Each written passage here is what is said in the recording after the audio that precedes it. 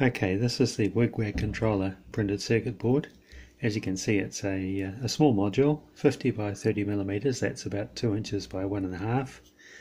A connector on the left-hand side, which has plus 12 at the top, ground at the bottom, and then plus 12 and ground out to each of the two LED lamps. On the right-hand side is a three-way connector. Uh, that can go to a switch on your panel to select the mode or you can just uh, insert links into that connector if you don't need to change the mode.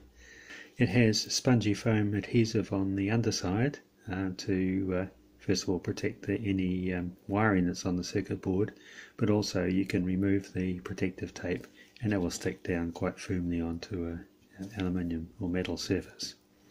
Typical application for this would be to connect it to two forward facing landing lights on your aircraft uh, and normally use that in the wigwag mode uh, where in flight you're alternating left, right, left, right.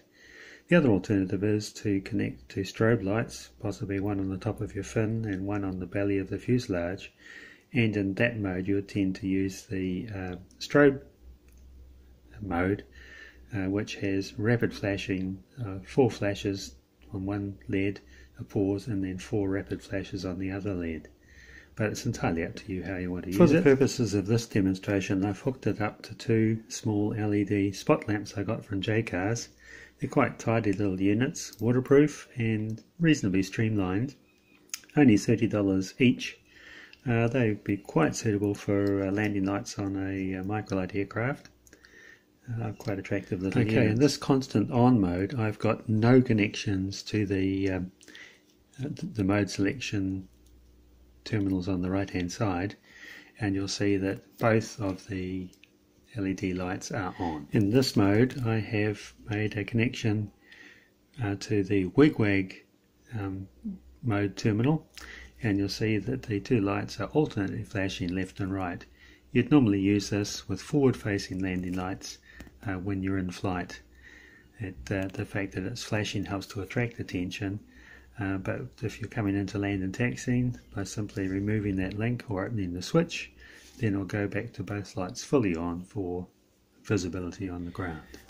And this mode is the strobing mode with the, uh, the strobe connections made on the right hand connector. And you see we get alternate four rapid flashes left and right.